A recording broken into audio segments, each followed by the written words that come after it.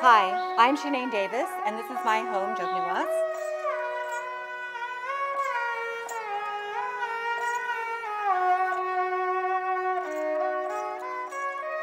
Jogniwas was founded in 2013 as a platform and interior cultural salon and center uh, to promote the different arts of South Asia.